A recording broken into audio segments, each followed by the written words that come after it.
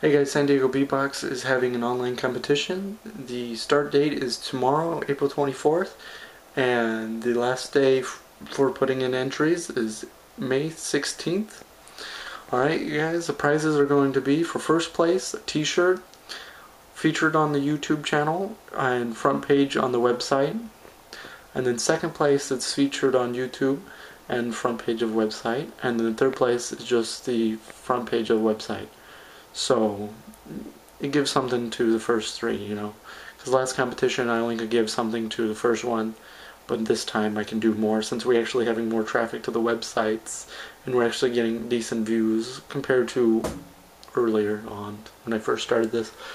So the San Diego Beatbox shirt that I'll be giving away is not the one on my chest right now, but it's this one if you could see it, if I can actually get it on good camera view for once so we got that going on. We had a Balboa Park Jam uh, the 21st, two days ago, which went really well.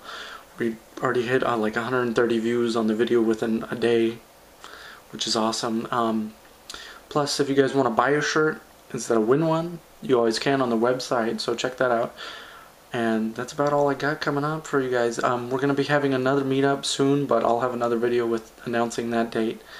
I'm still figuring out what's a good date. So if you guys can tell me what's a good date to you for the next meetup, because hopefully by then I'll have a PA system. We'll be able to just walk around and jam instead of having to stand by a tree, even though that was awesome.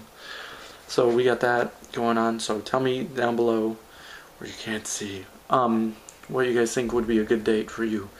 And then if you guys can, if you haven't, subscribe, like the Facebook, check out the website, you know, just do all the internety stuff that internet people do. Yeah.